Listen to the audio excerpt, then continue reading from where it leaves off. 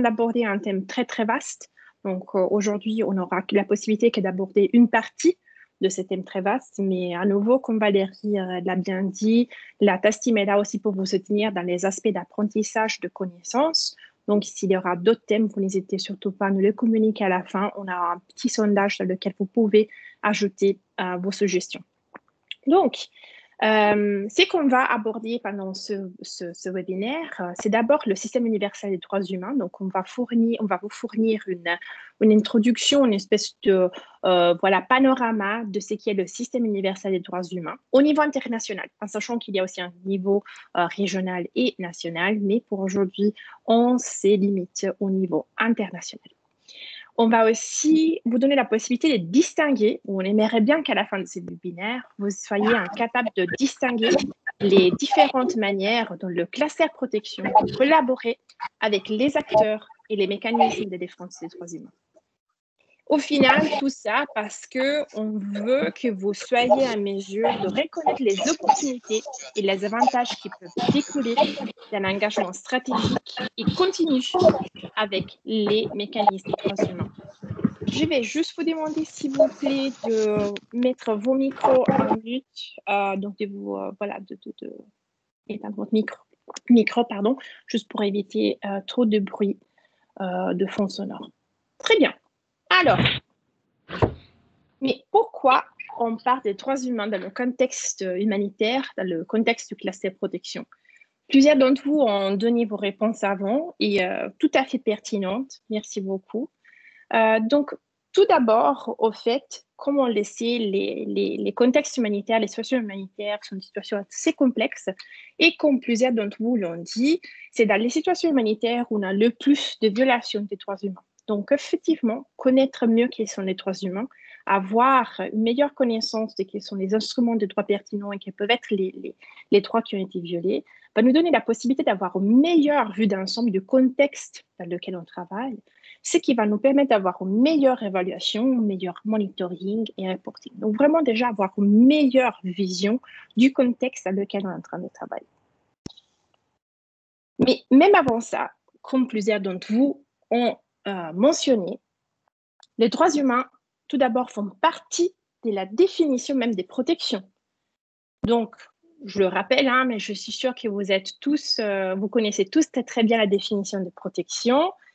La protection est toute activité qui vise à assurer le plein respect des droits de l'individu conformément à la lettre et l'esprit des codes de droit pertinents, c'est-à-dire les droits de l'homme, le droit international humanitaire et le droit relatif aux réfugiés. Donc, même juste pour vraiment une question de définition, les droits de l'homme doivent faire partie euh, du langage, mais aussi euh, des sujets que nous couvrons en tant qu'acteurs de la protection.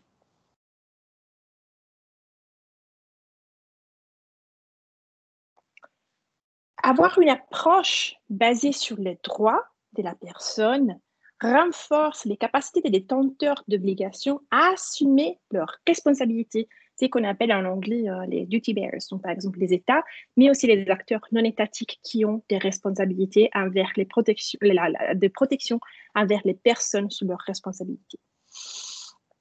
L'approche basée sur les droits est une approche qui repose sur l'idée de la dignité. Et il y avait plusieurs d'entre vous qui, avant, dans les commentaires, ont mentionné cet aspect de dignité de la personne.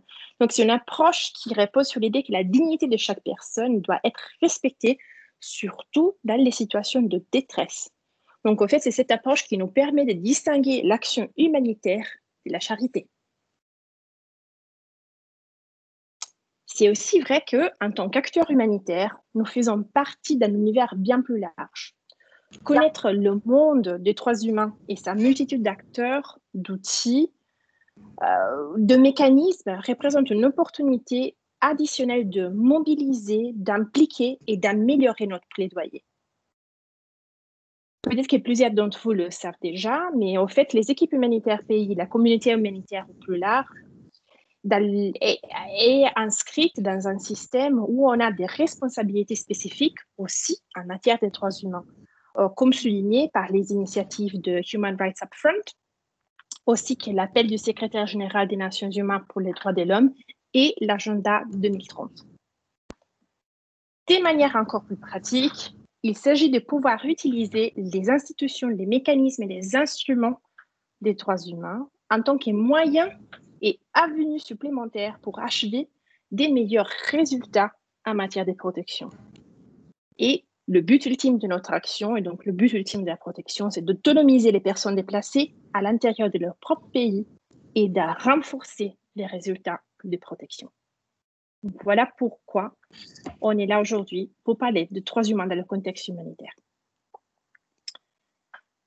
Alors, passons maintenant au système universel des droits de l'homme, qui repose sur des instruments, c'est-à-dire euh, les traités, les conventions, sont tous des différents mots pour dire la même chose, c'est-à-dire des traités, conventions, protocoles, etc., sont tous des traités. Des mécanismes, donc par exemple des commissions ou des comités, et aussi d'autres euh, organismes qui existent à plusieurs niveaux, international, régional et national. Comme j'expliquais avant, on va se focaliser pour aujourd'hui sur le niveau international global.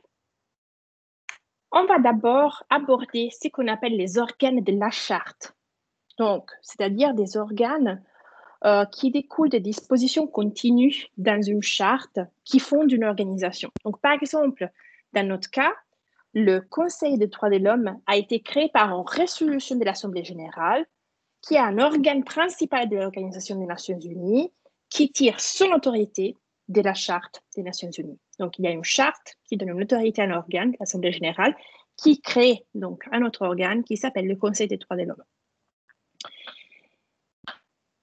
Pourquoi on a cet organe et ces mécanismes? Donc, les mécanismes sont établis dans le but de superviser la mise en œuvre des obligations spécifiques en matière des droits humains.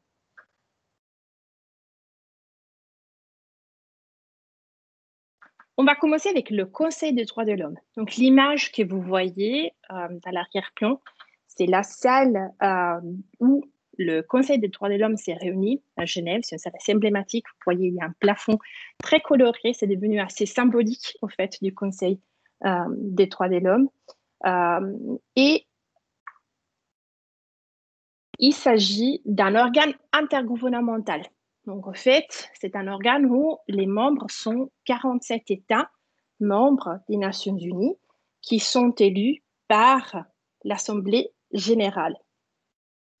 Le Conseil des droits de l'homme a été créé en 2006 à travers une résolution de l'Assemblée générale, donc à nouveau la question de l'organe de la charte, créé par l'Assemblée générale, il est chargé de renforcer la promotion et la protection des droits humains.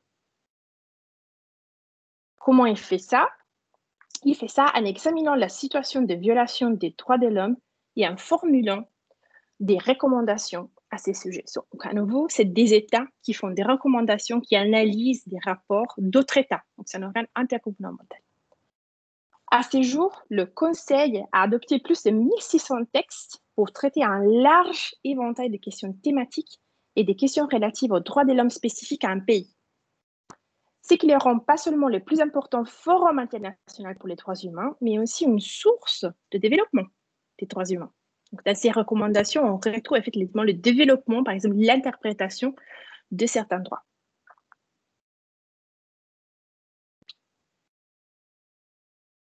Quoi que ce soit un organe intergouvernemental, le rôle des institutions nationales des droits de l'homme, des organisations internationales et des ONG est extrêmement important tout au long du parcours d'analyse, de, de rapports et des recommandations du Conseil des droits de l'homme, qui est assisté par le Bureau des Nations Unies des droits humains, le HCHR, dans le déroulement de l'organisation des différentes sessions et dans la préparation des documents. Donc, je vais maintenant laisser la parole à Elisa Gazzotti de Sogagaka International, qui va nous fournir des exemples concrets d'engagement avec le Conseil des droits de l'homme pour mieux nous montrer quel est le rôle des institutions nationales des droits de l'homme, des organisations internationales et des ONG. Elisa, je te laisse la parole. Merci beaucoup, Caterina. Bonjour à toutes et à tous. J'espère que vous m'entendez bien. Mon exemple d'aujourd'hui se concentrera sur les activités spécifiques menées par un réseau que je représente, que c'est le groupe de travail des ONG sur l'éducation et la formation aux droits humains. C'est un réseau de plus de 50 ONG qui vise à assurer la participation de la société civile à la promotion de l'éducation aux droits humains au niveau international et aussi national. En 2018 et en 2019, nous nous sommes engagés dans le cadre du Conseil des droits de l'homme pour que la quatrième phase du Programme mondial d'éducation aux droits de l'homme, qui est un cadre qui promeut une compréhension commune des principes et méthodologies de base de l'éducation aux droits humains, se concentre sur les jeunes pour les prochaines phases de 2020 à 2024. Nous avons travaillé à différents niveaux pour faire en sorte que notre travail au Conseil des droits de l'homme soit efficace et qu'à terme, cette quatrième phase du programme mondial se concentre sur la jeunesse. Premièrement, nous avons présenté des déclarations orales et écrites au cours des sessions ordinaires du Conseil. Deuxièmement, nous avons organisé des événements parallèles à la session principale du Conseil et troisièmement, nous, nous avons travaillé avec les missions permanentes au Conseil des droits de l'homme et avec le commissariat aux droits de l'homme. En septembre 2017, le Conseil des droits de l'homme a demandé au commissariat aux droits de l'homme de solliciter les voûtes des États, des, institutions nationales des droits de l'homme, des organisations de la société civile et d'autres parties prenantes concernant sur les secteurs ciblés les domaines d'intervention ou questions thématiques relatives aux droits, humains pour la quatrième phase du programme mondial. Le 6 mars 2018, à la 37e session du Conseil des droits de l'homme, en tant que groupe de travail sur l'éducation et la formation aux droits de l'homme, nous avons organisé un événement parallèle sur le thème Programme mondial d'éducation dans les domaines des droits de l'homme, quel accès pour la quatrième phase. Cet événement a réuni différentes parties, notamment des États membres, des universités, des ONG et des, et des agences des Nations Unies qui travaillent sur cette thématique. Lors de cet événement parallèle, le rôle clé des jeunes en tant qu'agents essentiels du changement et leur rôle crucial pour la promotion de l'éducation aux droits humains a été souligné à plusieurs reprises. Parallèlement, le Haut Commissariat aux droits de l'homme a lancé un appel officiel à tous les parties prenantes concernées afin qu'elles se consultent sur l'orientation éventuelle de la quatrième phase. À cette occasion, nous avons présenté un rapport mettant en évidence et mettant l'accent sur le rôle des jeunes en tant que domaine ciblé clé de la quatrième phase du programme mondial. De plus, pour l'année 2018, nous avons soumis plusieurs déclarations orales et écrites lors des sessions régulières du Conseil des droits de l'homme et recommandant toujours de mettre la jeunesse au centre de la quatrième phase. De plus, en septembre 2018, au cours de la 39e session du Conseil des droits de l'homme, nous avons organisé un autre événement parallèle intitulé Programme mondial d'éducation aux droits de l'homme, quatrième phase, donner aux gens les moyens de construire des sociétés justes, pacifiques et résilientes. Ça a été cosporisé aussi pour l'émission permanente, les membres de la plateforme de l'État pour l'éducation et la formation aux droits de l'homme et aussi pour l'UNESCO à Genève. Au cours de cette 39e session du Conseil, en septembre 2018, finalement, la résolution 39.3 a été adoptée, faisant officiellement de la jeunesse les groupes ciblés de la quatrième phase du programme mondial. Dans cette résolution, le Conseil des droits humains a demandé au Commissariat aux droits de l'homme de rédiger un plan d'action pour élaborer une stratégie globale d'éducation aux droits de l'homme pour les jeunes à niveau national qui puisse s'adopter à contexte national. L'année suivante, du coup, le 2019, a été également très cruciale car en tant que société civile, nous nous sommes engagés à nouveau par des déclarations orales, des déclarations écrites et des consultations avec le commissariat aux droits de l'homme à New York. Nous avons participé activement à la rédaction du plan d'action, proposant des points clés à inclure dans les documents qui ont ensuite été adoptés en septembre 2019 par le Conseil des droits de l'homme et qui doit donc être mis en œuvre à niveau national. Dans cette optique, en octobre 2019, nous avons organisé un événement parallèle de manière plus interactive avec des jeunes, notamment du Nigeria, des Philippines et de l'Uruguay, comme principaux acteurs, leur demandant directement comment ces plans d'action devraient être mis en œuvre au niveau national et quels sont les défis et les opportunités spécifiques dans leur pays. Juste pour conclure, je voudrais mentionner aussi que bien sûr, le Covid-19 a vraiment changé même la façon d'interagir avec les conseils des droits de l'homme, parce que c'était pas possible de tout faire euh, des événements en fait parallèles, mais on, quand même on continue à s'engager par des déclarations orales et écrites et on continue vraiment à trouver des moyens innovants pour continuer à, promouvoir et plaider une mise en œuvre significative de l'éducation aux droits humains et des jeunes au niveau international, national et local. Merci beaucoup pour votre attention. Merci beaucoup, Elisa. Donc, euh, comme vous l'avez compris, donc de l'exemple que Elisa nous a fourni, il y a plusieurs façons de s'engager avec le Conseil des droits de l'homme. Euh, par exemple, en fournissant des interventions orales, ce qui était le cas euh, de l'exemple qu'Elisa vient de nous donner par rapport à l'éducation aux droits humains.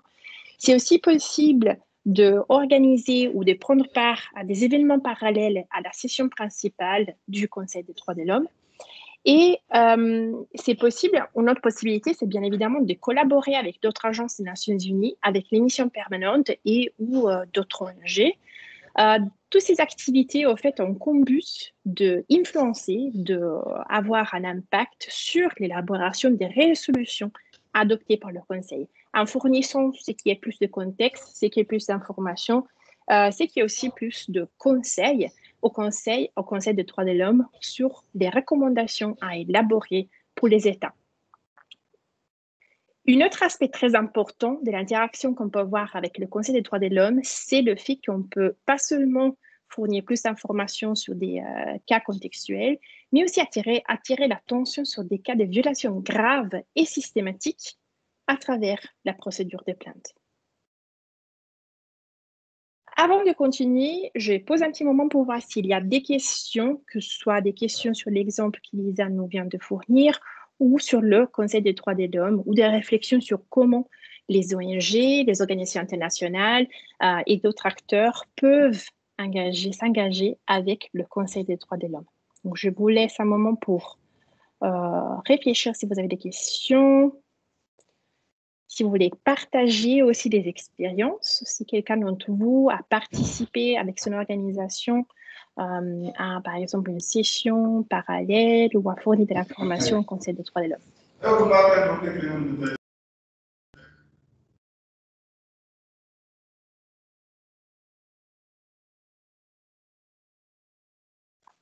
Je vous laisse encore deux, trois minutes pour réfléchir, pour euh, écrire vos questions, au cas où il y en a.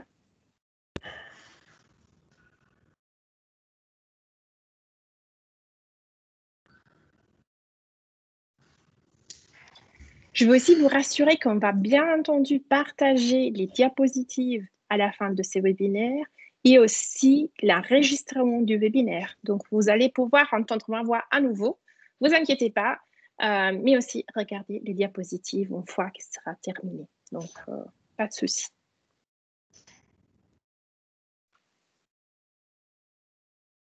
Alors, très bien. Je pense qu'on peut bien continuer avec la prochaine section du, du, notre webinaire, qui est la section sur les mécanismes du Conseil des droits de l'homme.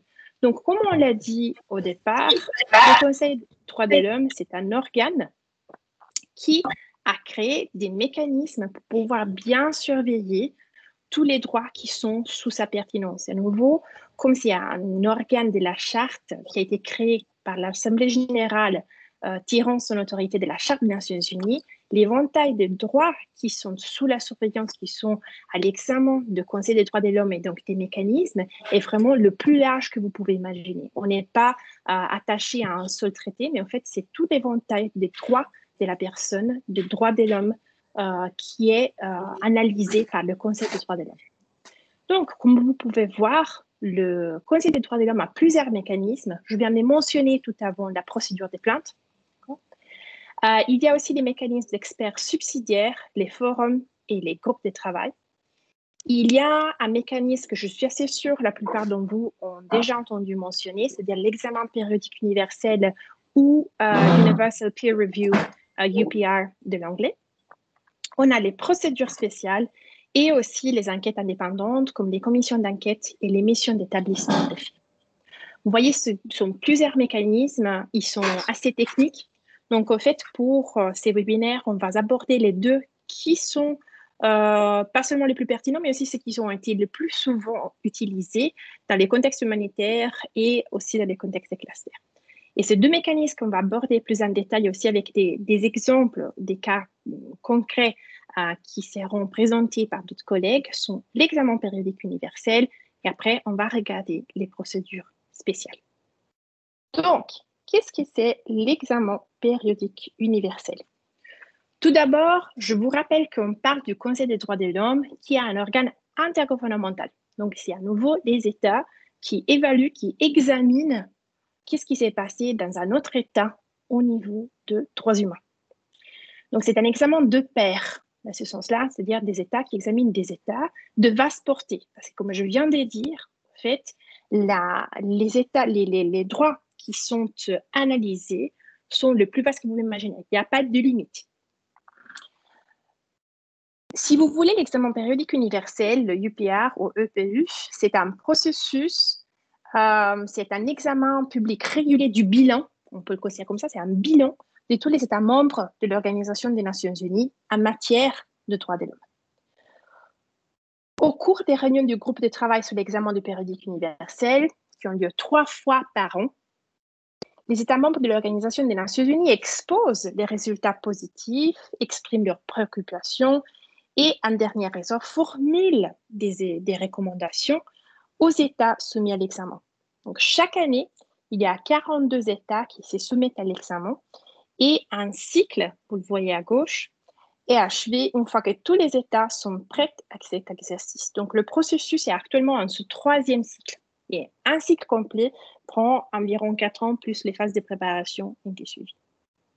Donc, pour être plus précis, au fait, les droits de l'homme qui sont analysés ou qui font partie, si vous voulez, de la base de, de l'examen périodique universel incluent, comme je venais de dire, la Charte des Nations Unies, la Déclaration universelle des droits de l'homme, les traités ratifiés par l'État concerné, les promesses et les engagements volontaires par l'État, si par exemple il y a une politique nationale euh, spécifique en matière de droits de l'homme, il sera aussi analysé.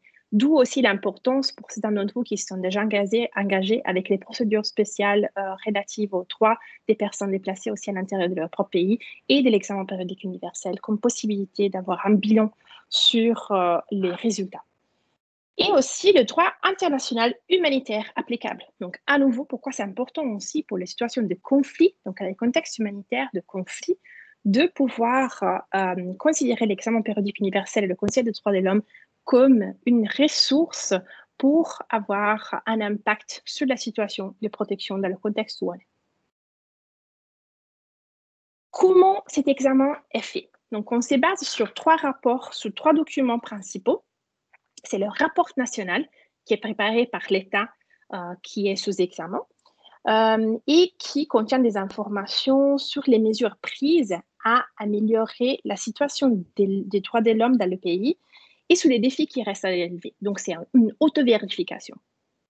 Ce rapport est complété par la compilation d'informations par les Nations Unies, qui inclut aussi les rapports des procédures spéciales des Nations Unies, qu'on va voir après, des organes des traités relatifs aux droits de l'homme, qu'on va voir après, et d'autres entités et d'autres agences. Donc, les Nations Unies et l'Organisation internationale ont la possibilité de soumettre des informations complémentaires au rapport national.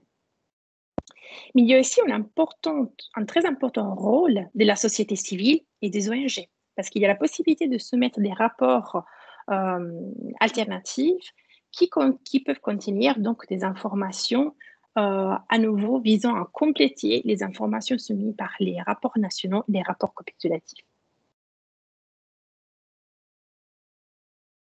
Une fois analysé ces différents rapports, le groupe de travail va rédiger un rapport sur la base de toutes ces informations et sur la base d'une discussion avec l'État soumis à, l'examen. Il y aura donc un rapport final euh, qui a été qui est élaboré par le Conseil des droits de l'homme et qui est adopté, pardon, qui est élaboré par le groupe de travail et qui est adopté euh, par le Conseil des droits de l'homme. Une fois que ces rapports ont été adoptés, les États sont soumis, euh, les, les États soumis à l'examen doivent indiquer quelles recommandations ils soutiennent ou acceptent et doivent rendre compte des mesures et des actions prises pour les mettre en œuvre. Raison pour laquelle, comme vous voyez, après l'étape 4 d'adoption et élaboration du rapport, il y a une phase de suivi avec un rapport intermédiaire et la mise en œuvre. Raison aussi pour laquelle on parle d'un cycle d'examen. L'objectif ultime de ces processus est d'améliorer concrètement la situation des droits de l'homme dans tous les pays euh, ayant des conséquences importantes pour les populations du monde entier et de traiter les violations des droits de l'homme où elles se produisent. Donc, vraiment de regarder en détail dans chaque pays quelle est la situation et formuler, avoir un criticisme positif, constructif, euh, critique constructive afin d'améliorer la situation. Je vais maintenant laisser la parole à Saname euh, Oftade de la Fédération luthérienne mondiale qui va nous donner un exemple concret de comment, au sein de son organisation, il y a un engagement avec le Conseil des droits de l'homme et spécifiquement avec l'examen périodique universel pour obtenir une amélioration des conditions des personnes déplacées. Saname, je laisse la parole. Merci. Euh, bonjour à tous. Euh, je m'appelle Sana Moftade et euh, je suis chargée de programme pour la Fédération luthérienne mondiale à Genève. Je vais vous présenter un exemple d'interaction avec l'examen périodique universel pour essayer de montrer comment on peut travailler avec, avec ce mécanisme. Donc, je vais vous parler d'une initiative globale que nous avons lancée à la Fédération luthérienne mondiale en 2014 et qui est une initiative centrée donc sur l'approche basée sur les droits humains, dont a parlé Katharina, euh, avec une méthodologie en fait de plaidoyer euh, qui va du local à l'international. Pour vous présenter l'initiative globale rapidement, euh, celle-ci cherche en fait à relier les actions concrètes qui sont menées sur le terrain au plus près des communautés avec un plaidoyer plus efficace au niveau national et au niveau international. L'objectif, c'est donc de faire entendre en fait la voix euh, des, communautés, euh, du local à l'international. Donc au niveau local, c'est au niveau du terrain, dans les camps de réfugiés, euh, les camps de personnes déplacées où vous pouvez travailler, mais aussi au niveau des municipalités ou des provinces. au niveau national, ce sera auprès des décideurs nationaux, donc des gouvernements, de l'État, du Parlement, dans la capitale et ensuite auprès des décideurs et de la communauté internationale, en utilisant donc, entre autres, des mécanismes comme euh, celui de l'examen périodique universel.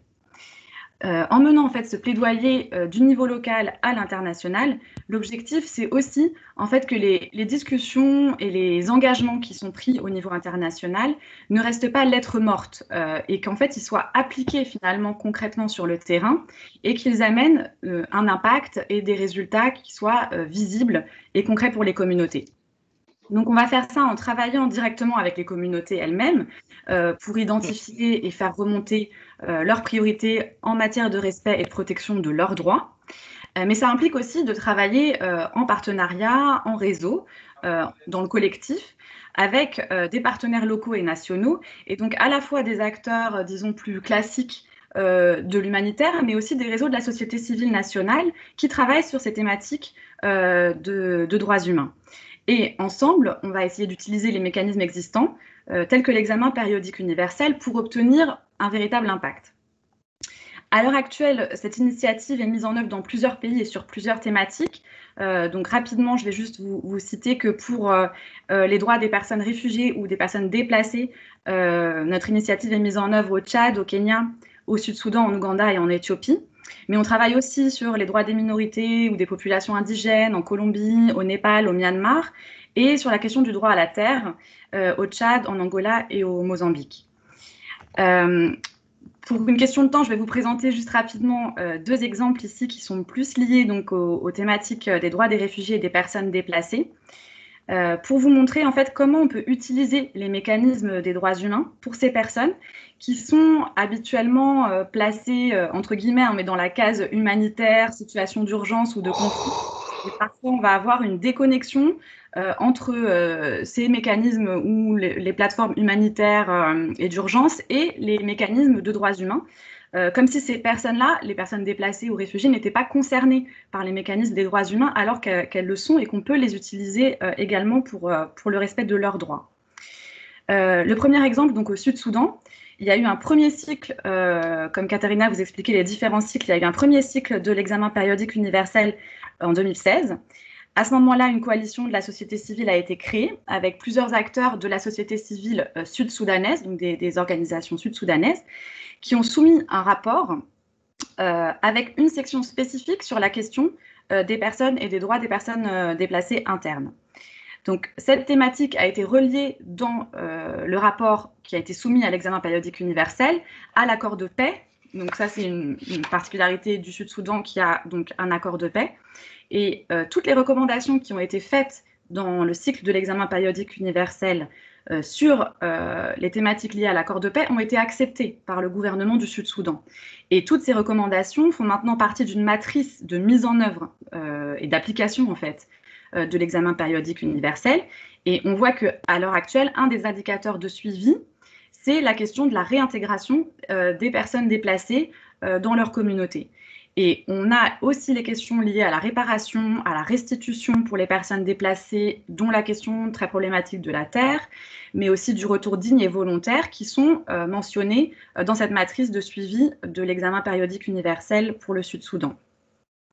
Pour le Kenya, euh, je vais vous parler du coup plutôt de la thématique des droits des réfugiés.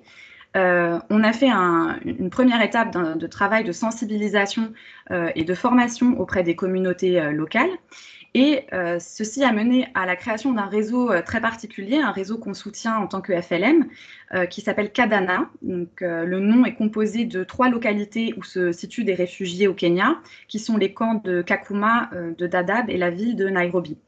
Donc, ce sont des réfugiés hein, qui ont créé cette organisation, ce réseau, et qui la dirigent euh, pour faire entendre leur voix dans les mécanismes nationaux. Donc, euh, ils ont par exemple été invités au débat parlementaire sur la nouvelle loi d'asile euh, au Kenya, mais aussi dans les mécanismes internationaux comme l'examen périodique universel. On a vu au Kenya, au niveau national, la création d'un cluster spécifique sur la question du droit des réfugiés au sein de la coalition de la société civile nationale qui existait déjà, et qui traitait toute une large palette de thématiques euh, liées aux droits humains, mais qui n'avait pas de cluster spécifique sur la question du droit des réfugiés. Et euh, ce cluster sur, les droits des réfugiés a participé à la fois à la rédaction d'un rapport à mi-parcours sur le deuxième cycle de l'examen périodique universel. Donc là, il s'agissait de, voir où on en était de la mise en œuvre des recommandations du deuxième cycle. Et ensuite, le cluster a également rédigé et soumis un rapport spécifique sur la question du droit des réfugiés pour le troisième cycle euh, de l'examen périodique universel au Kenya. Donc le, troisième cycle a eu lieu euh, en 2020. Euh, et dans ce travail autour de l'examen périodique universel, on a vu un travail avec des acteurs clés avec lesquels on collaborait peut-être moins avant, comme la Commission nationale des droits de l'homme qui a mené deux visites dans les camps de Dadaab et de Kakuma suite à des signalements qui avaient été faits sur des problématiques de violation des droits de l'homme. Euh, et dans leur visite, ils ont aussi ensuite euh, présenté des rapports et des résultats, en particulier sur la question des violences sexuelles. Et ces résultats ont été repris dans le rapport que nous avons soumis donc pour le troisième cycle de l'examen périodique universel. Un autre exemple de lien avec des, thématiques ou des mécanismes intéressants sur la thématique de l'éducation, euh, on a mené tout un plaidoyer autour du guide pour l'inclusion des non-citoyens dans le système éducatif kényan, qui est donc un document officiel du gouvernement. Et le suivi de, ce guide à l'heure actuelle fait aussi partie des indicateurs de suivi euh, des recommandations de l'examen périodique universel, puisque euh, les recommandations incluaient la question de l'accès au droit à l'éducation pour les enfants réfugiés. en termes de plaidoyer, donc on a, mené un plaidoyer auprès des ambassades à Nairobi, mais aussi des missions diplomatiques à Genève, euh, pour que les recommandations soient donc reprises euh, dans le rapport final qui est fait, donc qui, est adopté par le Conseil des droits de l'homme. Et on a eu un membre de, de, Kadana, donc une personne réfugiée, qui a pu participer à la visite à Genève, ce qui pour nous a aussi été un, beau résultat de ce travail, parce qu'il est souvent très difficile d'obtenir des documents de voyage et des visas pour que les réfugiés puissent participer à ce, à ce type d'événement euh, à Genève. Euh, donc, ce qu'on voit dans les deux exemples que je vous ai cités, euh, c'est que à la fois pour le Sud-Soudan et pour le Kenya, quand on fait tout ce travail de plaidoyer, de rédaction de rapports, en consultant les communautés et en travaillant en réseau, on a des recommandations qui sont faites à l'État en question, donc au Sud-Soudan ou au Kenya, et qui sont acceptés par, par, les gouvernements. Et ça permet ensuite de faire ce travail de suivi et de mise en œuvre de ces recommandations, comme je vous l'ai montré, pour, l'accès aux droits des personnes déplacées ou réfugiées. Voilà, j'espère qu'avec cet exemple, euh, je vous aurai un peu plus éclairé comment utiliser euh, ce mécanisme spécifique. Merci beaucoup. Merci beaucoup, Salamé. Euh, c'était très bien de voir euh, comment soit les clusters qui s'occupent des personnes déplacées internes, soit d'autres groupes de travail, d'autres mécanismes de coordination qui s'occupent à la fois des réfugiés et d'autres populations peuvent effectivement euh, utiliser les différents mécanismes, surtout l'examen périodique universel, le PR, pour faire remonter des informations du terrain euh, vraiment au niveau global pour pouvoir avoir euh, un impact sur les engagements euh, des États qui ont des responsabilités envers les personnes sur leur territoire. Donc, merci beaucoup. Donc, pour résumer, comment on peut interagir avec l'examen périodique universel? D'abord, dans la phase d'élaboration du document examen, on peut effectivement arriver à contribuer à un rapport final avec les recommandations, soit avec travers la rédaction des rapports soumis par les organisations internationales, par les Nations Unies, soit par les rapports alternatifs euh, rédigés par euh, les institutions nationales des, droits de l'homme, les experts et l'ONG. Et comment on peut faire ça? Bah, Il faut faire d'abord remonter l'information du terrain jusqu'à, par exemple, au siège de vos organisations, si vous avez une organisation qui a un siège, par exemple Euh, soit avec un dialogue avec les institutions nationales des droits de l'homme, soit avec un dialogue avec les acteurs locaux des droits de l'homme. À nouveau, c'est vraiment la possibilité de collecter des informations qui puissent euh, faire partie des rapports, soit des Nations Unies, soit euh, des rapports alternatifs des institutions des droits de l'homme ou des ONG, qui puissent aussi euh, donner au groupe de travail une meilleure vue d'ensemble, une meilleure, information pour les recommandations, pour la formulation des recommandations qui vont faire partie du rapport final. Bien entendu, aussi la possibilité d'établir un dialogue avec le gouvernement et de soutenir à l'élaboration de rapports nationaux, donc pour avoir une meilleure vérification de quelles ont été euh, l'implémentation les mesures prises pour euh, améliorer la situation des droits humains et respecter ses engagements au niveau international. Il y a aussi la possibilité, bien évidemment, de euh, interagir avec euh, l'examen périodique universel dans la phase de suivi et des rapports intermédiaires. Par exemple, il s'agit pour s'agir d'établir un dialogue avec les États et les parties prenantes dans la phase de suivi, donc la mise en œuvre des recommandations, par exemple en fournissant des informations sur le monitoring et la mise en place des, différentes, euh, des différents engagements. On peut aussi soutenir les États et les autres parties prenantes dans l'élaboration du rapport intermédiaire et aussi contribuer à l'examen de mes parcours soit avec des rapports, soit avec le soutien, effectivement, dans la vérification de ce qui s'est passé sur euh, euh, le terrain au niveau d'amélioration des droits de l'homme. Donc, merci beaucoup encore à Saname pour avoir euh, nous donné un exemple très concret de comment le mécanisme est utilisé dans des contextes de personnes déplacées, soit à l'intérieur de leur pays, soit réfugiés.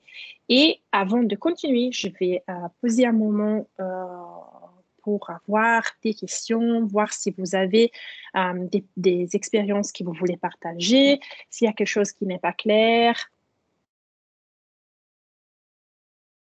Ah oui, donc merci beaucoup Saname. Euh, tu as partagé donc le lien au rapport euh, de la Fédération mondiale, luthérienne mondiale. vous pouvez avoir encore plus de détails sur les différentes euh, initiatives les différents projets qui ont été entamés par rapport aux contributions euh, à travers l'examen périodique universel.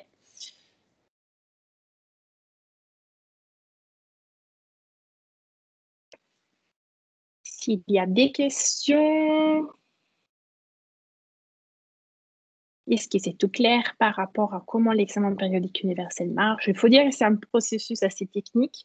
Donc, c'est la raison pour laquelle euh, c'est bien de se mettre en contact avec la TAS Team. Euh, c'est un engagement avec les mécanismes de droits de l'homme qui peut vous fournir aussi en aide plus et davantage d'informations sur comment euh, contribuer effectivement à ces mécanismes.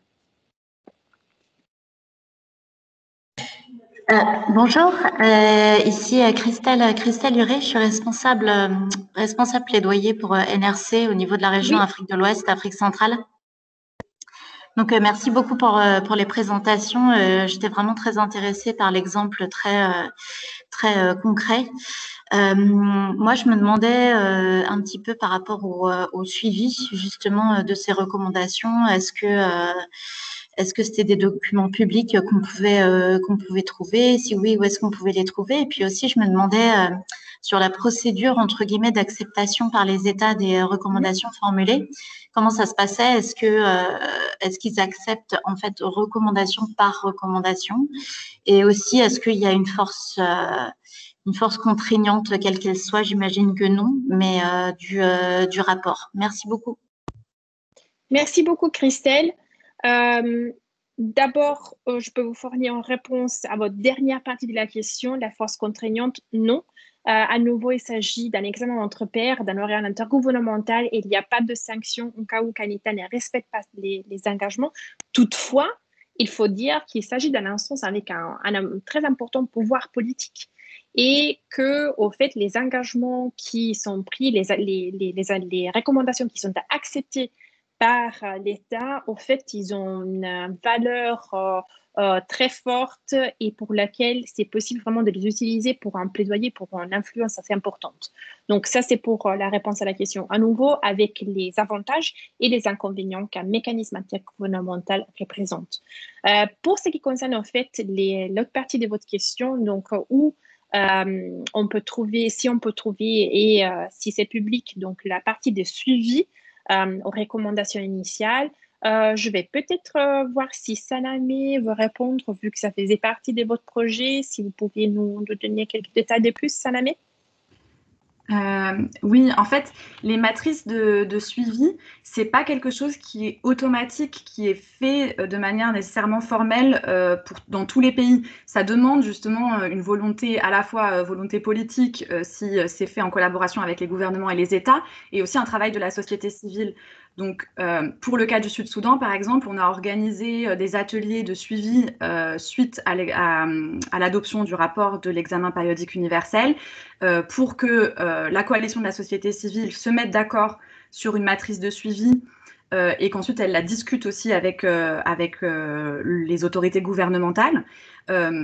Et ça a été fait dans plusieurs autres pays, donc je pourrais, euh, si besoin, peut-être partager ensuite euh, les, ressources qui sont liées aux matrices de suivi dans les différents pays que nous, on connaît. Euh, il y en a sûrement aussi ailleurs.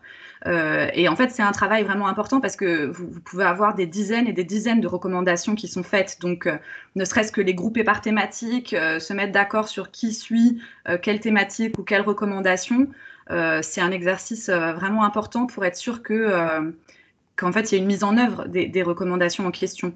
Euh, donc, euh, pour le Sud-Soudan, on a fait un travail euh, assez dans le détail. On l'a fait dans d'autres pays, au Kenya aussi. c'est parfois fait au niveau national, parfois fait avec l'aide d'ONG de, internationales. et comme je le disais, ça peut être un travail société civile ou justement un travail à la fois société civile et gouvernement qui dialogue sur une matrice de suivi commune. Voilà ce que je peux en dire.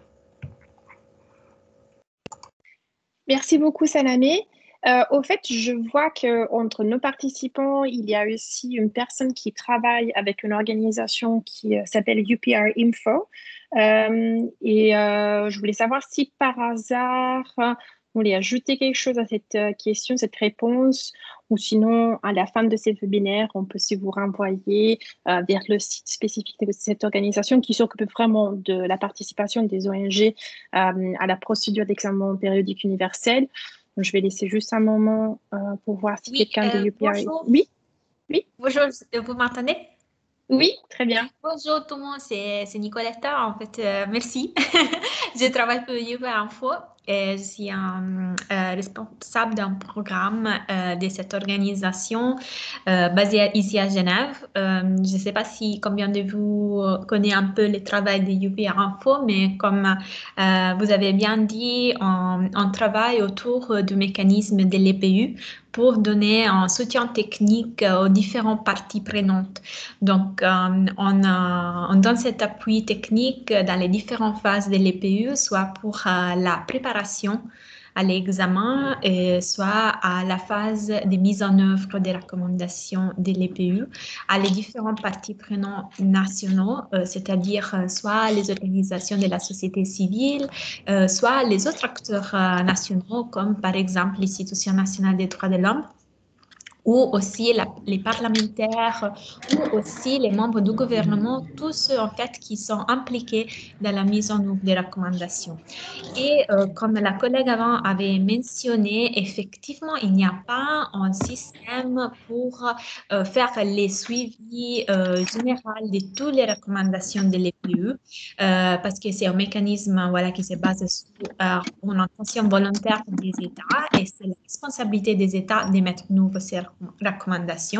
Toutefois, il y a plus en plus des engagements et une attention particulière pour les suivis. Et euh, c'est vrai que euh, beaucoup de fois, euh, il y a, on peut dire, cette action des, des, suivis et des mises à disposition de l'information sur les niveaux des mises en œuvre des recommandations vient par la société civile. Donc, soit des coalitions des ONG avec ou sans l'institution de, l'homme, ça dépend un peu si ils sont déjà établis dans les pays, commence un travail des, euh, des recommandations. Et UPI Info a travaillé dans différents pays pour euh, donner un soutien technique sur comment euh, développer des plans des suivis donc de faire des matrices pour euh, regrouper les différentes recommandations de l'EPU, mais aussi euh, en lien avec les recommandations des autres mécanismes des Nations Unies euh, et voir quels sont les progrès de, de, la mise en œuvre. En fait, on a développé dans les derniers temps un curricula pour identifier les indicateurs et aider soit la société civile et quand il y a euh, la euh, volonté du gouvernement, euh, essayer de créer des, des moments, des réunions entre la société civile et les membres du gouvernement pour travailler sur les plans de suivi. Donc, par exemple, j'essaie juste comme ça, comme des exemples, qu'il y avait une coalition en Turquie, aussi en Cambodge, qui avait développé soit des bases de données en ligne où euh, euh, pratiquement la société civile avait euh, publié sur le site web qu'ils ont créé toutes les recommandations reçues et ont traduit ces recommandations et après ils euh, ajoutaient voilà, les différentes actions qui ont été mises en place soit par la société civile, soit par le gouvernement pour mettre en œuvre les recommandations. Donc il y a différents exemples un peu partout dans le monde. après, il y a les systèmes un peu plus sophistiqués, par exemple, qui ont été mises en place euh, en Paraguay, Uruguay, avec les systèmes Simore, qui c'est cette base de données euh, encore plus sophistiquée, euh, où on peut voir un peu les niveaux des mises en œuvre des recommandations. Mais justement, il n'y a pas une source d'information où on peut trouver toute cette information pour tous les pays. Il faut chercher dans les différents réseaux nationaux. Euh, je ne sais pas si ça a euh, clarifié un petit peu ou seulement donné, à créer des confusions, mais voilà, si vous avez des questions, euh, je suis disponible à vous répondre. Et si je me permets aussi de vous indiquer notre site web, comme ça, si vous voulez le regarder, vous pouvez avoir accès à ça. Volontiers, Nicoletta, merci beaucoup. merci à vous. Tu peux l'ajouter dans la chat, comme ça, tout le monde a la ressource. Très bien, merci. Merci, Nicoletta. Bonjour, excusez-moi, est-ce que je peux compléter quelque chose? Oui, bien sûr, Salamé, oui. Oui, bonjour. Euh, oui, euh, je suis Nargis de Hyper Info aussi. Euh, ah, pardon, excusez-moi. Nicoletta, pas de souci. Ah, non, non, c'est, je voulais juste compléter ce que Nicoletta a dit. En fait, c'était très, très global, mais juste pour rajouter peut-être, il y a aussi la matrice du Haut Commissariat qui est disponible, qui fait une sorte de clustering des, sujets, qui peut être un bon point de départ sur euh, ce suivi justement de, euh, différentes euh, parties prenantes, que ce soit la société civile, le gouvernement ou une institution euh, euh, nationale des droits de l'homme qui peut être un bon point de départ justement pour euh, la compléter pour se l'approprier. cette matrice elle est disponible sur le site du Haut Commissariat.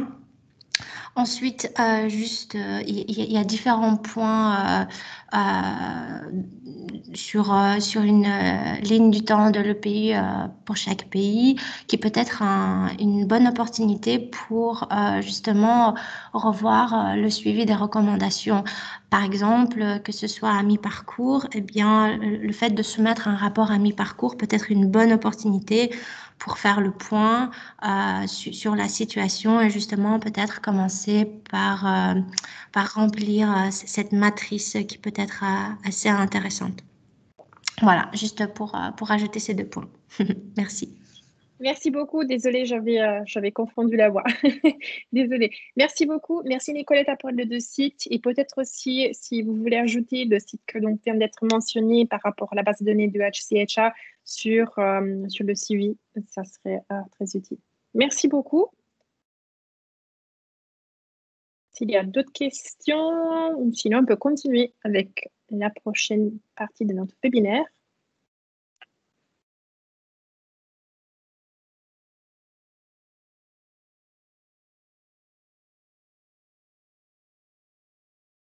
Très bien, merci beaucoup Antoine pour, euh, pour votre partage.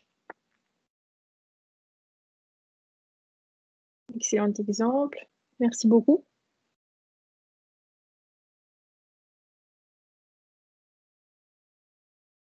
Très bien.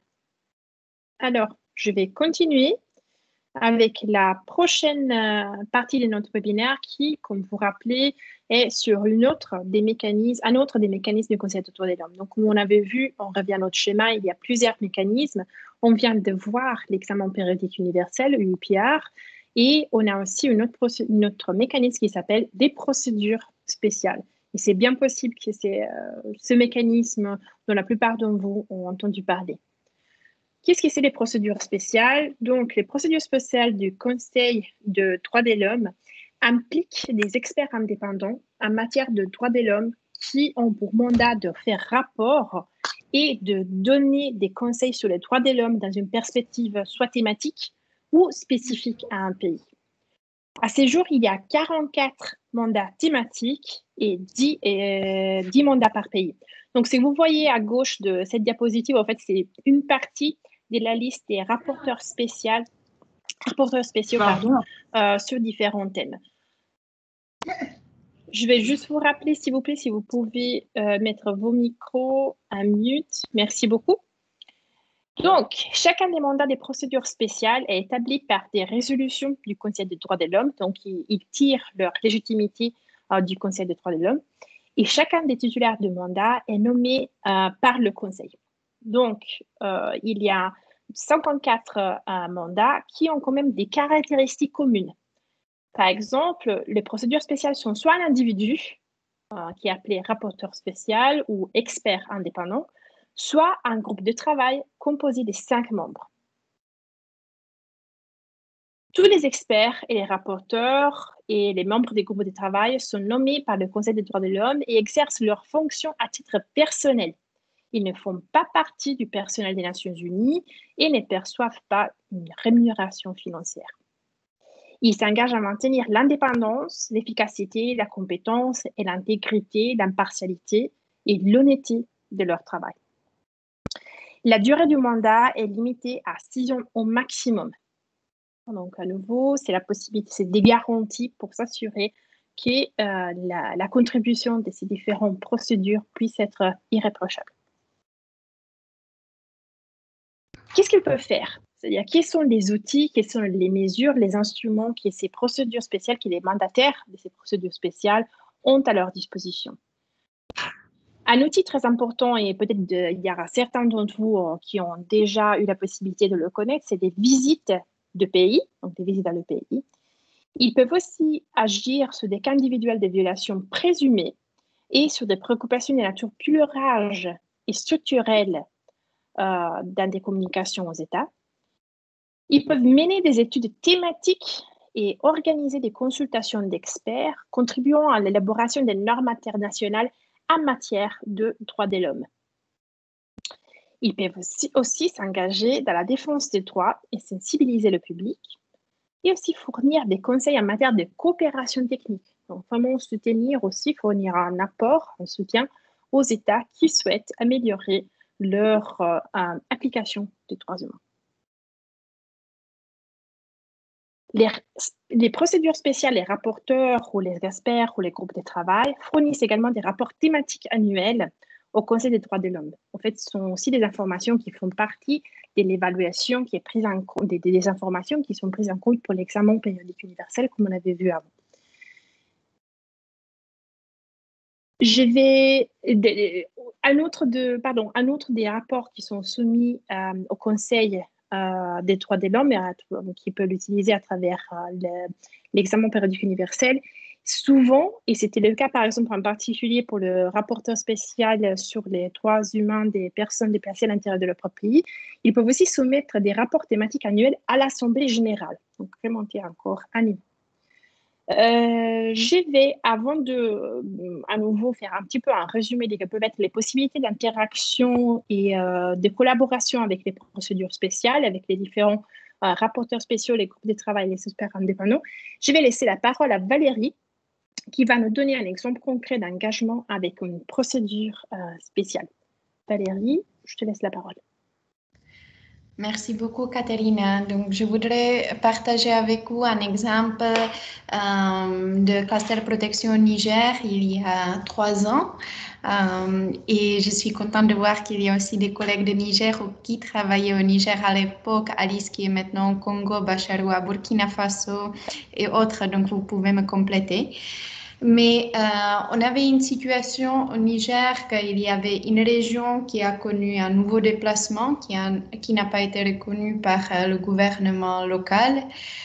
Et en même temps, on a essayé de mettre beaucoup d'énergie et d'efforts euh, dans le processus de domestication de la Convention de Kampala.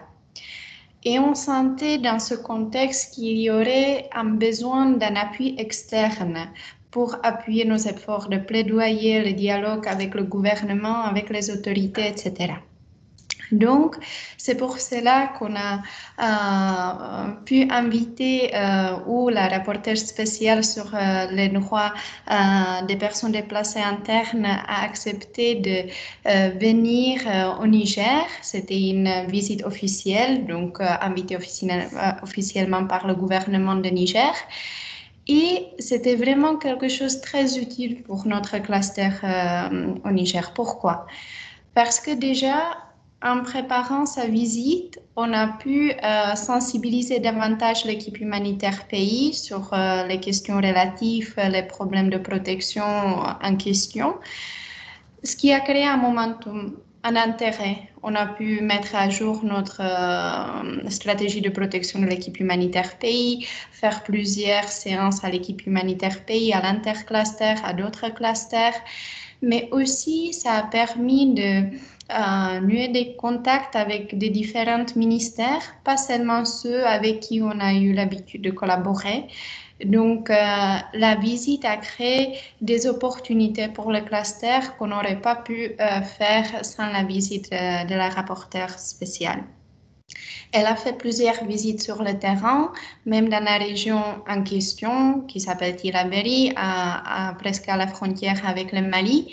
Elle s'est beaucoup entretenue avec les autorités locales. Et suite à sa visite, on a vu un réel changement à plusieurs niveaux. Euh, donc déjà, il y avait beaucoup d'intérêt de la société civile, euh, même des médias, mais surtout, euh, l'attitude du gouvernement était vraiment positive. Désormais, on a pu aller dans la région pour mettre en place le monitoring de protection comme il fallait. On a fait des notes de plaidoyer, des, des actions concrètes d'appui. On a pu aussi faire un plan d'action euh, suite à sa visite au Niger avec l'équipe humanitaire pays et le gouvernement pour mettre en place et euh, pour implémenter les recommandations de sa visite. Donc, comme vous savez, probablement, euh, il y a aussi la loi spécifique pour les personnes déplacées internes au Niger qui a été adopté il y a un an et demi. Et je dois dire que la visite de la rapporteure spéciale a aussi contribué à ces efforts dans le processus pour s'assurer que les, euh, les, acteurs soient au même niveau d'information, qu'ils soient dans la même dynamique, euh, qu'il y ait un appui au niveau des différents ministères, etc. Donc, euh, c'est en bref notre expérience de, de Niger et euh, s'il y a quelque chose à ajouter aussi euh, par Alice et Bacharou et notre collègue, euh, je vous laisse la parole. je ne sais pas si on a les collègues de Niger actuels pour voir le suivi sur place, mais à vous si vous avez des éléments à compléter. Merci. Je vous vois que Habibatou, oui, à toi Habibatou.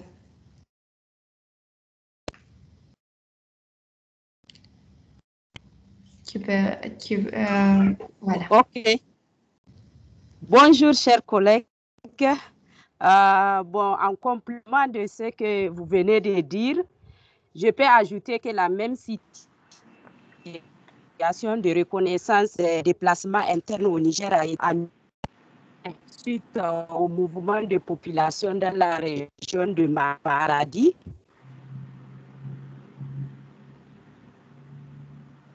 Maradi et parce que le, gouvernement n'a accepté de placer, il a fallu une mission protection avec euh, le co-coordonnateur que le ministère de l'Action humanitaire a, donné au cluster.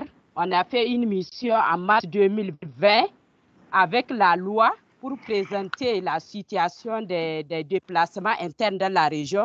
On a eu à rencontrer le, le, gouverneur, le gouverneur, euh, les SIG et les acteurs humanitaires dans la région afin qu'ils puissent reconnaître euh, les déplacés internes dans cette zone, ce qui a abouti.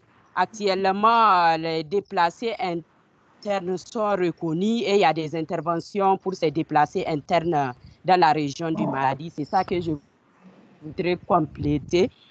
On est aussi en train de suivre la loi la vulgarisation de la loi à travers le ministère de l'Action humanitaire dans toutes les régions du pays. Merci. Merci beaucoup, Habibatou, euh, d'ajouter comment même euh, maintenant vous profitez de cette visite et de ces fruits au niveau du Niger, dans d'autres régions. Et je vois que Bacharou va aussi prendre la parole. À toi, Bacharou, s'il te plaît. Oui, euh, merci Valérie. Juste pour compléter rapidement hein, sur euh, cette situation de, de euh, il fallait tout de suite dire qu'en fait, il y a une vision un peu à long terme, il y a une certaine anticipation du cluster protection en réalité parce que le fait d'avoir mis le monitoring de protection très tôt, parce qu'on avait quelques éléments de base, mais la vision a fait qu'on a développé beaucoup d'analyses et euh, les premiers, euh, il fallait, dire qu'au début, c'était un faible, euh, un, faible nombre quand même de, déplacés internes. et, la vision était que la situation, vu, le contexte, vu les, éléments contextuels, la situation avait tendance quand même à, à, se détériorer. et le gouvernement central, effectivement, n'était pas du tout favorable. Et je me souviens de la première visite des autorités au niveau national, il y a, après la visite de la rapporteuse spéciale. Et je pense que c'est effectivement, ça a été euh, un, grand apport, cette visite. Euh, ça a mobilisé toute la communauté euh, humanitaire et, les autorités. Et, on a vu très rapidement que, en fait, la vision était claire, elle était bonne parce que c'était vraiment, si vous voulez, la, région phare plus tard parce que c'était la, région où la situation s'est développée, s'est dégradée très rapidement et, et s'est étendue même un peu vers la région de Tawa et, plus tard.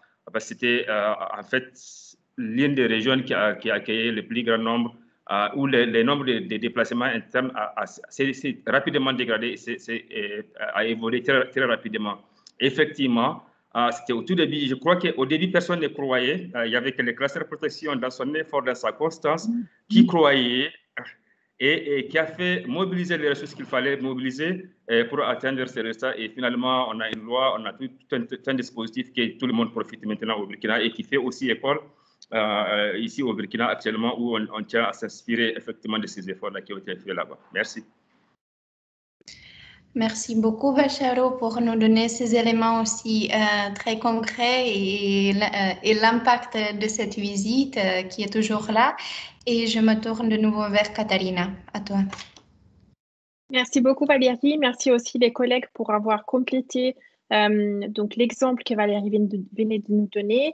Euh, donc, justement, voilà comment on peut interagir avec des procédures spéciales, par exemple en soutenant et en contribuant aux visites des titulaires de mandat au titre des procédures spéciales. Donc, c'était le cas euh, du Niger lors de la visite du rapporteur spécial sur euh, les droits des, personnes déplacées à l'intérieur de leur propre pays. Qu'est-ce que ça veut dire? Ça veut dire aussi parfois faire demande de visite, ça veut dire fournir de notes d'information confidentielles et, comme les collègues ont souligné, aussi organiser des réunions et visites avec les personnes déplacées internes et ou avec d'autres parties euh, prenantes clés.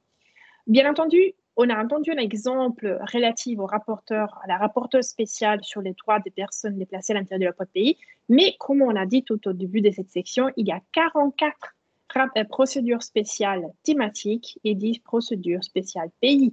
Donc, c'est important de déterminer euh, quelles sont les procédures les plus pertinentes pour savoir vraiment s'engager de façon stratégique et pas seulement ad hoc ponctuel une fois qu'on reçoit, euh, par exemple, une invitation, mais vraiment pouvoir faire une cartographie des procédures qui sont les plus pertinentes et pouvoir organiser des activités.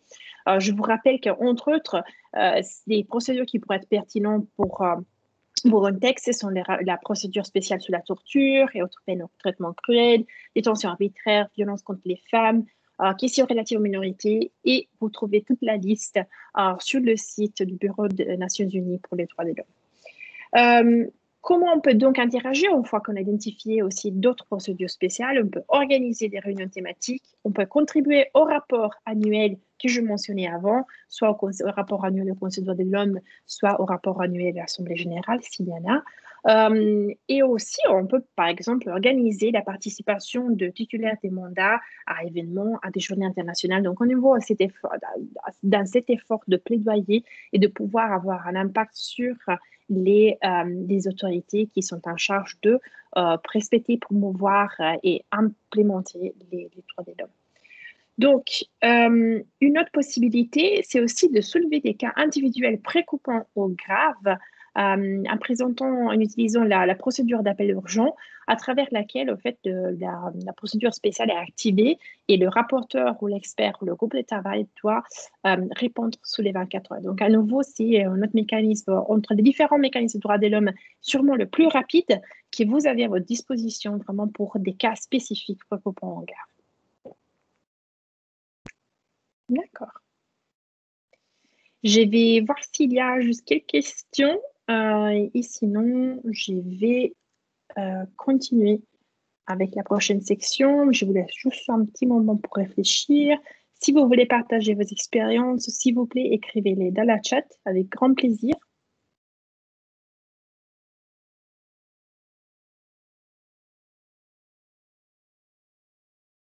Ok, alors en ces cas-là, je vais continuer comme ça nous pouvons utiliser les dernières 15 minutes qui nous restent, 20 minutes qui nous restent, pour voir, donc, euh, en révélant notre système universel des droits humains, les organes des traités. Donc, qu'est-ce que ça veut dire, les organes des traités, et comment ils sont utilisés au niveau de surveillance, des, euh, de la mise en œuvre des droits de la personne. Donc, euh, puisque la plupart d'entre vous déjà le savent, donc, au niveau des Nations Unies, euh, on a neuf principaux traités internationaux des droits humains qui sont complétés par des protocoles facultatifs. Euh, par exemple, la Convention relative aux droits de l'enfant a un protocole facultatif sur euh, les enfants dans les situations de conflit armé. Donc, il y a un protocole additionnel facultatif. Donc, en soi-même, il y a aussi un traité, si vous voulez, mais les traités principaux sont donc neuf. Euh, les protocoles facultatifs soit s'occupent des préoccupations spécifiques, soit dans le cadre de la Convention contre la torture établie à un comité d'experts. Euh, donc, chaque traité crée un organe, c'est pour ça qu'on parle d'organe, qui est un comité d'experts chargé de surveiller l'application du traité. C'est pour ça aussi qu'on appelle les organes de traité. Euh, les traités en soi-même, on les appelle aussi instruments et les mécanismes, donc, sont les mécanismes qui nous permettent de mettre en œuvre l'instrument, donc le traité. voilà pour vous donner un petit peu à nouveau le panorama de tout ce qui sont les traités et donc tous les droits qui sont abordés au niveau conventionnel, au niveau international. Donc, vous voyez, je suis sûre que vous en connaissez déjà plusieurs et c'est pour vous donner une vue d'ensemble. Donc, neuf instruments principaux avec aussi le protocole additionnel, le protocole optionnel de la Convention contre la torture qui établit un sous-comité.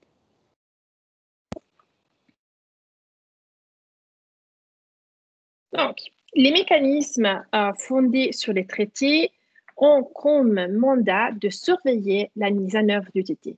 Ce qui veut dire qu'ils ne vont, que les comités de 10 à 25 experts indépendants euh, qui font partie de l'organe du traité ne vont investiguer quelle est la situation pertinente à le, au mandat auquel ils font référence. Donc, par exemple, pour le traité, pour l'organe euh, de traité relatif aux droits civils politiques, ils vont euh, analyser les rapports qui vont adresser qui est les droits spécifiques de ces traités.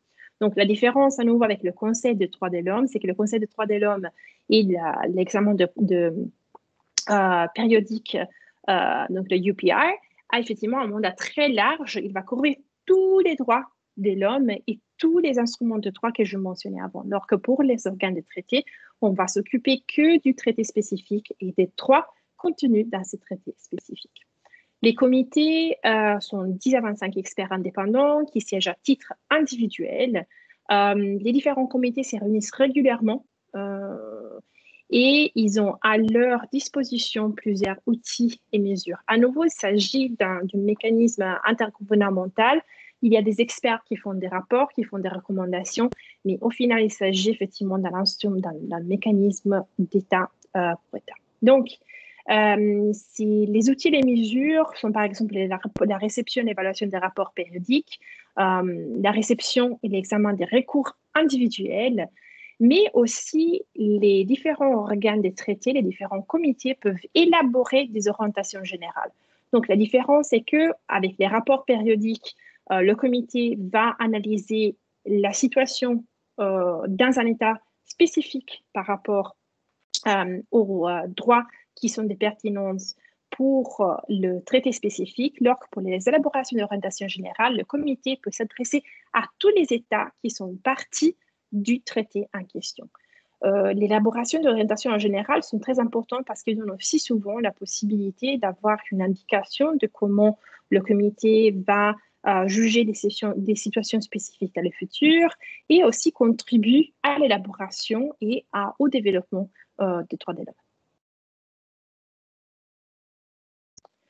Donc, comment la procédure des rapports marche, comme vous voyez, un petit peu aussi comme l'examen périodique euh, universel, on a un cycle euh, qui, comme l'examen périodique universel, commence avec la présentation d'un rapport, euh, d'un rapport créé par l'État, dans lequel il, identifie et définit comment l'État a mis en œuvre les différentes dispositions contenues dans le traité qui l'a ratifié.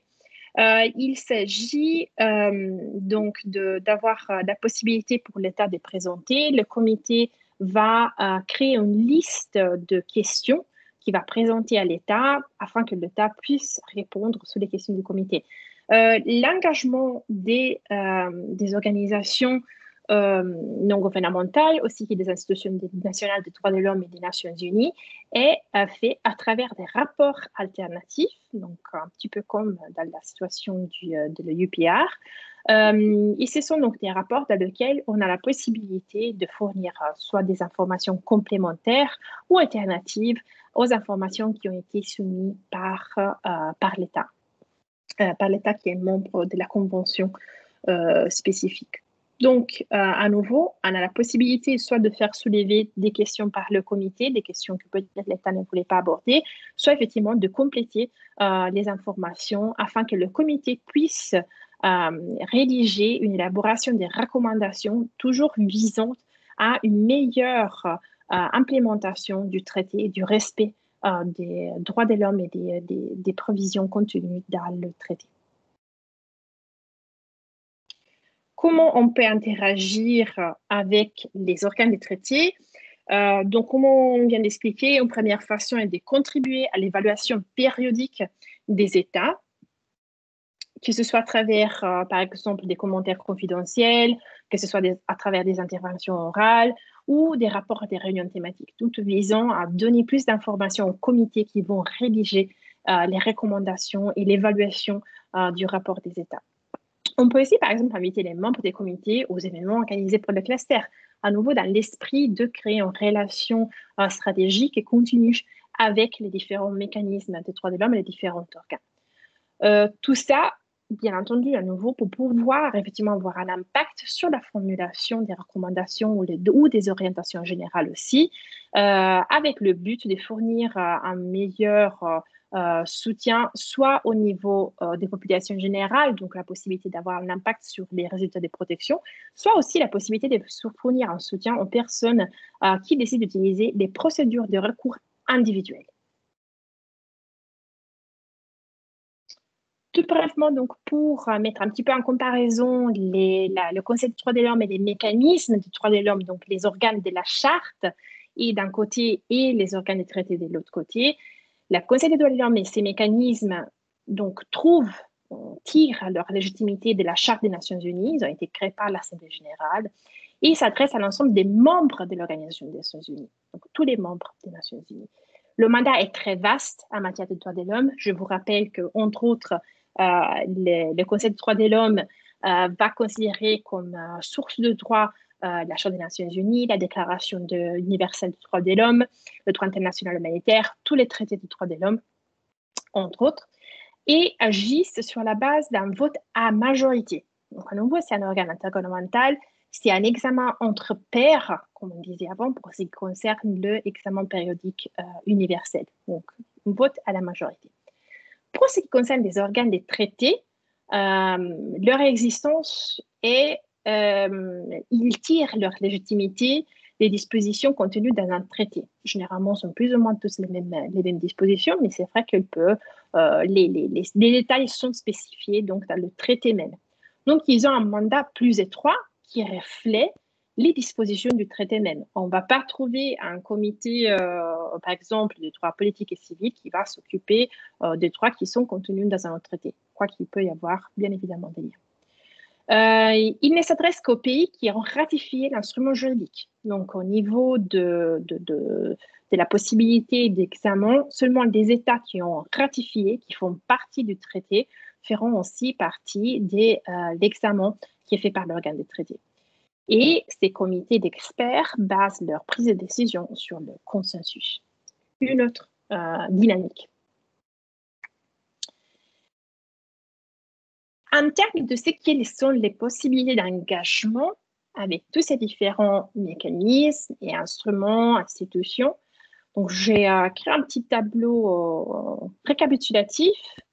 Euh, bien évidemment, on pourrait regarder aussi beaucoup plus de, critères pour, pour comparer les différents organes et mécanismes. Toutefois, je voulais me concentrer sur quels sont effectivement les avantages et les opportunités pour les collègues qui travaillent à la protection pour les collègues du cluster et pour toutes les personnes qui se trouvent donc dans un contexte de terrain et qui visent à mieux s'engager soit au niveau terrain, soit avec la collaboration euh, du, siège. Donc, euh, on voit qu'au niveau de visite des pays, qui est sûrement l'un des outils qui peut vous intéresser le plus au niveau vraiment d'engagement direct, on voit que euh, le Conseil des droits de l'homme, donc, ils peuvent faire des visites pays, mais à travers les procédures spéciales. Le Conseil lui-même, il ne se déplace pas. Euh, il n'y a pas de visite des pays pour ce qui concerne les examens périodiques universels. Je m'excuse, il y a un petit, euh, je fais un petit faute de frappe, c'est EPU.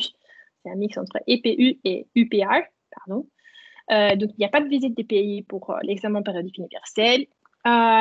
les procédures spéciales, bien évidemment, évidemment, c'est l'un des instruments principaux principaux des procédures spéciales. Et il y a aussi la possibilité que les organes des traités, les comités euh, de différents traités, euh, fassent aussi des visites des pays. Comment on peut utiliser ces différents mécanismes et organes au niveau du plaidoyer? Hmm, Il faut distinguer un plaidoyer immédiat, un plaidoyer à moyen terme et un plaidoyer à long terme. Dans l'immédiat, vous voyez que par exemple, les, opportunités sont offertes soit pour le Conseil des droits de l'homme, soit pour les procédures spéciales, soit pour les organes de traité. Euh, que pour les procédures spéciales et pour les organes de traité, on regarde plutôt l'aspect de communication individuelle ou des plaintes individuelles et des mesures provisoires, donc vraiment pour des cas spécifiques. Ce qui est intéressant pour ce qui concerne le Conseil des droits de l'homme, c'est qu'on peut attirer l'attention sur des cas de violations graves, systématiques, à travers la procédure de plainte. Donc, ce n'est pas des cas individuels, mais c'est vraiment des situations de violations graves et systématiques. Pour ce qui concerne le plaidoyer à moyen terme, les modalités se ressemblent entre les différents euh, organes et mécanismes. Donc, c'est des interventions orales, c'est la possibilité de présenter des rapports ou de contribuer euh, aux rapports qui sont soumis par d'autres acteurs, que ce soit étatiques ou non étatiques. Euh, on peut organiser des événements, dans le cas de la conseil, du Conseil des droits de l'homme, des, événements parallèles, participer ou organiser. Euh, dans le cas d'autres mécanismes, on peut par exemple, procédure spéciale et organes des traités, on peut effectivement inviter les rapporteurs spéciaux euh, soit les membres des groupes de travail ou les experts, par exemple, des, événements organisés pour les sensibiliser, pour euh, leur donner plus d'enseignements sur certaines situations. Au niveau de plaidoyer long terme, il y a une collaboration en général avec les différents organes, comités et institutions pour pouvoir avoir le meilleur impact sur les recommandations qui sont euh, créées par ces différents mécanismes et pour euh, avoir donc une meilleure influence, essayer d'avoir une euh, plus grande influence et un plaidoyer plus efficace au niveau des responsabilités des, par exemple, des États. Quel est l'impact? Et ça, ça revient un petit peu à la question, je crois, de Christelle par rapport si les décisions sont contraignantes ou pas. Comme vous le voyez, il s'agit plutôt d'un impact politique, euh, mais il ne faut pas sous-estimer effectivement quel est cet impact politique. Euh, à nouveau, pour ce qui concerne le droits de l'homme et l'examen périodique euh, universel, les engagements qui sont pris forment effectivement une opportunité de, pression assez, importante selon les différents pays et qui va être utilisée sûrement dans les, forums internationaux. Euh, pour les procédures spéciales, à nouveau, ça va dépendre. C'est vrai qu'il y a parfois un impact indirect, mais une valeur diplomatique très, très forte. On a entendu ça, par exemple, dans l'exemple que euh, Valérie les collègues du Niger mentionnaient par rapport à la visite de la rapporteure spéciale sur les droits des personnes euh, déplacées à l'intérieur de leur propre pays. Au niveau des organes traité, euh, les recommandations de l'opinion sont contraignantes parce qu'ils font partie des États qui ont ratifié le traité. Euh, c'est vrai qu'il n'y a pas de sanctions au cas où l'État ne se conforme pas aux recommandations. Toutefois, il y a une grosse pression au niveau national, effectivement, de bien euh, conformer à toutes les, les recommandations d'un traité qui a été ratifié par l'État. Au niveau de rapidité, c'est-à-dire saisir, qu'est-ce que ça veut dire ou quelles doivent être les attentes euh, si on décide de saisir ces différents mécanismes et euh, opportunités.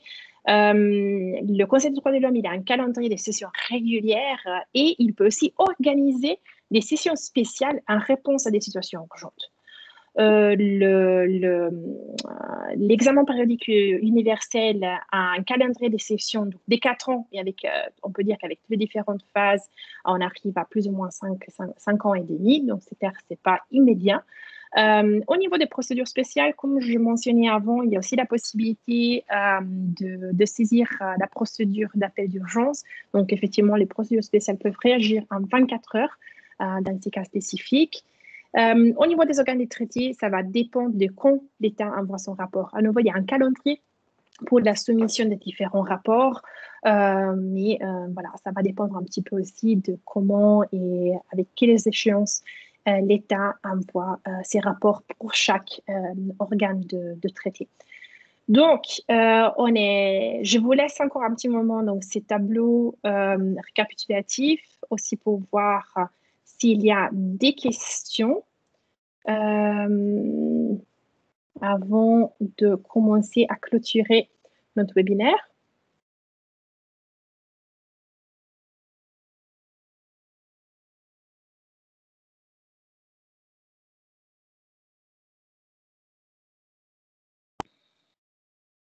Très bien. Alors, si vous avez des questions, n'hésitez pas à les poser dans la chat. Si vous avez des questions supplémentaires, euh, je vous invite à visiter la page de la TAS Team sur l'engagement avec les mécanismes de droits de l'homme sur le site du Global Protection Cluster, euh, qui sera aussi partagé dans la chat, et aussi d'utiliser les liens qui ont été partagés par les deux collègues de UPR Info. Euh, je vous invite en général à contacter la TAS Team sur l'engagement avec les mécanismes de droits humains, qui sont là pour vous fournir davantage d'informations, pour partager aussi des pratiques et aussi pour vous soutenir, par exemple, si vous choisissez euh, ou si vous choisissez au niveau de cluster de participer euh, et de vous engager avec euh, les différents mécanismes et organes dont on vient de parler.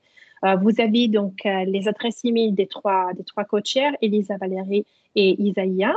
Et je vais donc laisser la parole à Valérie, comme ça elle peut clôturer ces webinaires. Merci.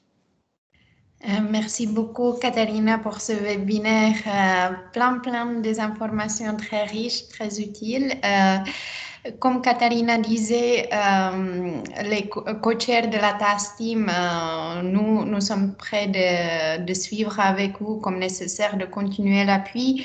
Euh, il y avait deux questions par rapport à la TAS Team, donc je voudrais juste préciser, le lead, c'est le HCR, donc je suis représentée par moi-même. Puis on a Sokagakai International qui est représenté par Elisa qui a parlé tout à l'heure et bien sûr aussi euh, World Lutheran Federation euh, représentée par euh, Isaiah. Vous avez les contacts sur, sur le slide devant vous.